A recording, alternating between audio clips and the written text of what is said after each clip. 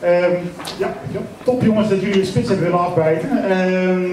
Met zo'n OV-fiets wordt dus je actieradius een heel stuk groter. Als je hier als bezoeker in Enschede aankomt en niet direct de stad in wil, kun je nog eventjes naar, nou ja, even wat verder weg, richting Schoningslanden om daar eens rond te kijken. Boekelo, Vaneke. Vaneke trouwens, ik ben, ben er wel eens geweest, er staan, er staan mijn huizen niet normaal. En er zijn nog een paar kavels vrij. En ehm, ik heb hier een clubje. Uh, die hebben een, uh, een huis gebouwd op zo'n kavel in, in de Vaneke. Jullie mogen wel eens maar voorkomen, dames. Uh, de fotosessie, dit is, is gewoon het is leuk als er daar leuke grapjes bij je dragen. Ze hebben daar Ruma Gadang. Ze gaan zelf wel introduceren wat dat betekent, denk ik.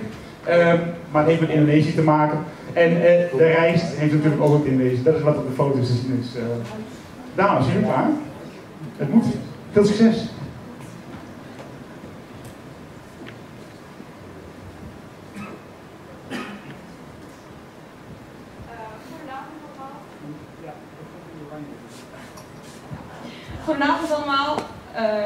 Wij zijn dus Christel, Davy, Derja en Gilbert.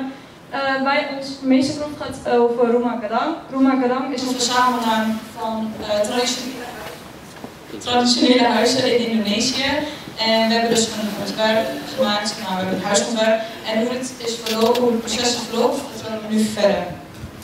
Nou, bij een opdracht natuurlijk een aanleiding. Uh, zo is onze aanleiding dat uh, bij onze gezin is Indonesië uh, met vier twee kinderen en twee volwassenen die heel graag naar Nederland willen.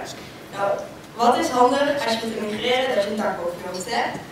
zo hebben zij ons wat eisen en mensen voorgeschreven die wij moeten verwerken in ons ontwerp. Ook als een belangrijk eis is dat zij de stijl van de Indonesische architectuur en de Nederlandse architectuur zullen samenvoegen tot één ontwerp. En dat hebben wij gedaan.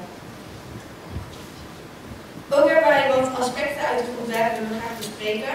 Uh, zo hebben wij een technische app ontworpen, waardoor je ons huis eigenlijk kunt besturen via een app.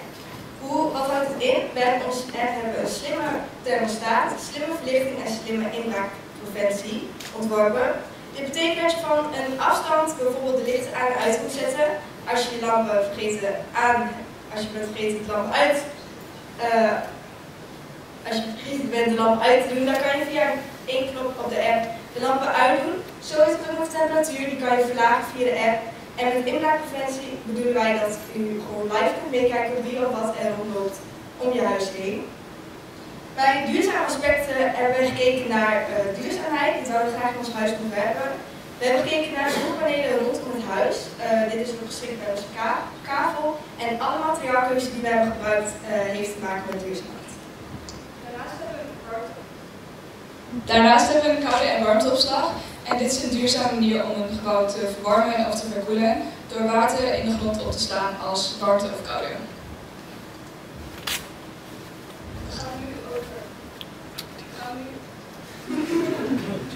Dan gaan we nu over naar de SketchUp. Uh, dat is op het tweede beeldscherm.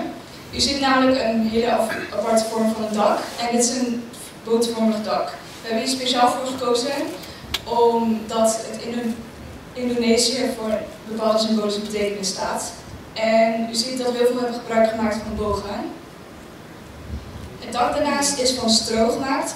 Dit is een veel voorkomende dakbedekkingtechniek eh, die in veel tropische klimaten wordt gebruikt. Um, we hebben dit in Nederland gedaan zodat, echt een, zodat het, water weerhoudt van het windstrak. Aan de rechterkant ziet u dat we heel veel gebruik hebben gemaakt van ramen. Dit is om zoveel mogelijk natuurlijk licht het huis binnen te laten. En minder van kunstlicht. En dit is natuurlijk ook heel duurzaam. Dan hebben we aan de linkerkant een balkon. En daarop zit een streep. Dat gaat rond om het hele huis. En dit is echt uh, versieringen met houtsnijwerk. Uh, in Indonesië heeft elk, heeft elk motief een eigen symbolische betekenis. Helaas konden we dat niet hier op SketchUp afbeelden. En hebben we het maar zo gedaan als een streep.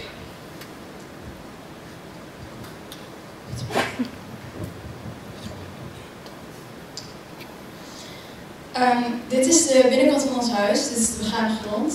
Zoals u ziet zit er, zit er een lange gang in. Dit hebben we gedaan omdat uh, in Indonesië de uh, gangen ook super lang zijn die toegang geven tot alle kamers. Dit stukje wat u apart ziet, daar komt de keuken te staan. Dat hebben ze gedaan omdat ze in Indonesië um, naar de keuken lopen, zeg maar. Ze lopen naar buiten om naar de keuken te gaan. Daarom hebben wij de keuken apart gezet. En de keuken is verbonden met een glazen wand.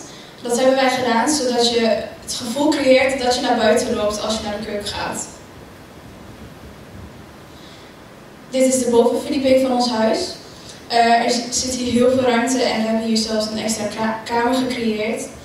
Um, aan de linkerkant ziet u nog de keuken uitsteken. Daar zit nog een dak op, omdat het dak daar niet plat mocht zijn vanwege de eisen van de kavel. En hier ziet u dat we een balkon hebben. Dit hebben we gedaan omdat in Indonesië alle huizen een balkon hebben. Dat die dienen voor familie en uh, vrienden uit te zwaaien als ze op bezoek komen. Daarom hebben wij dit ook uh, toegepast in ons ontwerp.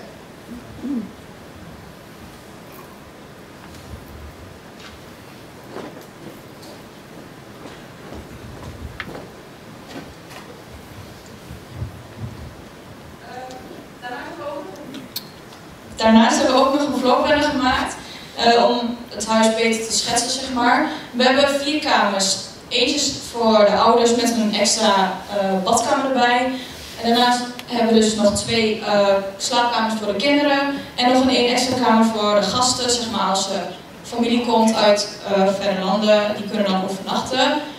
Um, ook hebben we twee extra kamers. Eentje is een opslagruimte, daar linksboven en daar linksonder is dan een studeerkamer. Um, helemaal aan de rechterkant ziet u dan uh, ja, een terras of veranda. Uh, daarboven uh, is dus de keuken en we hebben dus glazen wanden de, ja, ertussen. En er is ook nog een deur, die kun je dan open doen om in de, of in de zomer juist buiten te gaan zitten. Um, ja, dan heb je dus een trap die naar boven gaat, naast de slaapkamer. En boven heb je dan uh, een heel groot ruimte. Dat is voor de woonkamer en er is nog een extra ruimte. Die kunnen ze dan zeg maar zelf indelen. Uh, natuurlijk is de indeling die wij uh, hebben ingericht, dus niet, ja, het is niet nodig dat ze dat zo inrichten, maar de stel mogen ze dan zelf kiezen. En er is ook nog een klein keukentje boven, zodat ze niet telkens naar beneden toe hoeven om iets te gaan drinken of iets te eten. En er is dus ook een balkon. Dit was dan onze meesterproef. Uh, we willen heel graag de opdrachtgever Leon, uh, onze docent meneer en de expertbegeleider Henry uh, bedanken voor het begeleiden bij onze opdracht. En ja, dit was het.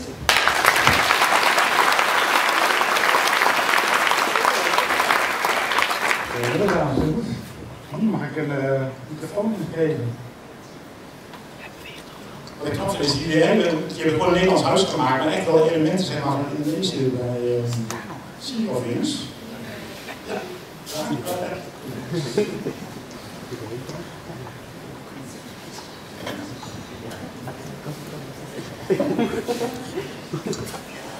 Uh, jullie, jullie, spraken over een uh, app die bijvoorbeeld inbraakpreventie uh.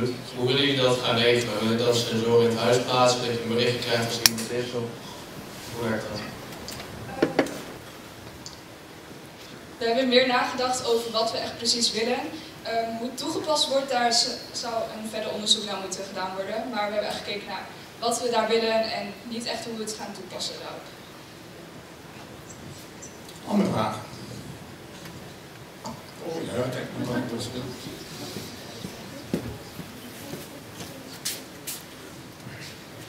Uh, misschien heb ik het gemist hoor, maar uh, wat is de reden dat ze in Indonesië boven wonen en beneden slapen?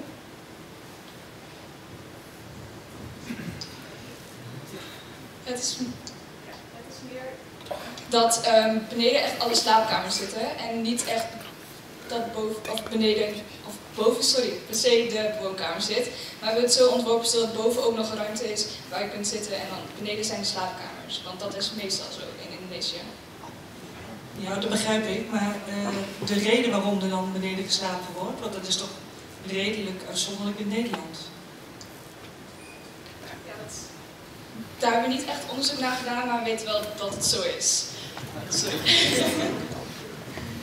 Oké, okay, dankjewel. Voor mij te maken met de warmte, zeg maar, de zon en dan beneden wat koeler. Uh, misschien nog eens een vraag.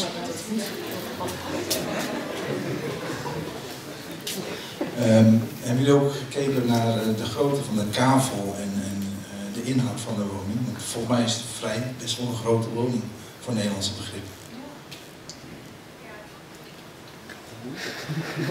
Ja, daar hebben we naar gekeken. Um, ons huis is inderdaad best wel groot.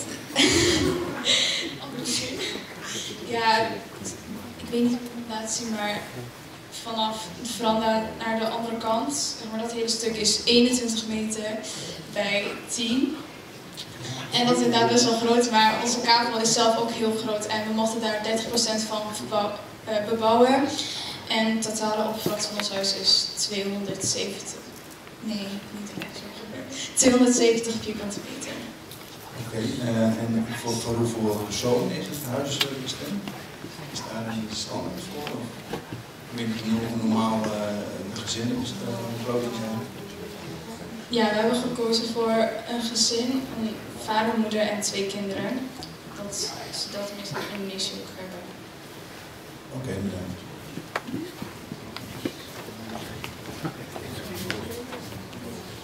Jullie zeiden dat het dak een symbolische functie heeft, dat daarom die bogen er iets in. Wat is het symbool, waar, waar, staat dat voor? De, het dak. Het dak bestaat uit, uh, is een symbolische betekenis voor twee historische gebeurtenissen. Namelijk de komst van de eerste Minangkabau, en dat is dan het volk dat in de normale huis wonen. En voor de gewonnen strijd uh, tussen de waterbuffel van de Javaanse en de Minangkabause. Dus daar staat het voor. Super, dankjewel. Dit zijn precies de momenten waarvoor worden vragen. Hè? Ze weten veel meer dan wat ze kunnen vertellen. Zijn er nog meer vragen? Ja? Nou jongens, dan uh, dankjewel. Super bedankt.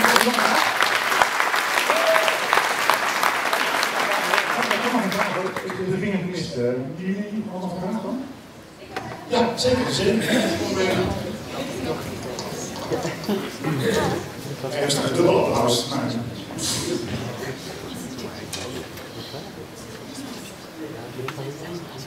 Ze het huis wel dan helemaal ontworpen naar die uh, Indonesische levensstijl. En dan zo'n grote kavel en zo'n grote woning, die neemt man dat eigenlijk één keertje te koop komt. Is ook wat ontwerp aan te passen naar de Nederlandse mensen, qua gezien. Hoe bedoelt u? de, de, Nederlandse samenstelling qua huis en architectuur is meestal die woonlevens op beneden en dan slaapgedeelte zijn boven. En nu is het zeg maar woongedeelte in het midden en het slaapgedeelte rechts aan links, dus zo ingedeeld. Ja, het is zeg maar dat we dat, uh, we wilden gewoon eigenlijk iets aparts. Het is niet echt dat, dat uh, in Indonesië wel zo is. Ja, ze hebben meestal gewoon alles beneden, maar we wilden gewoon iets aparts doen om eigenlijk juist de slaapkamers beneden te doen. En uh, ja, gewoon een woonkamer en een extra ruimte gewoon boven te doen. Maar is het ook wel componenten aan te passen, dat de ruimte een beetje kan schuiven? Uh, in principe niet, want het is, als het wordt ontworpen, dan is het echt gewoon zo gebouwd en je kunt niet echt iets veranderen. Nee. Dan nu echt een applaus, uh, dames.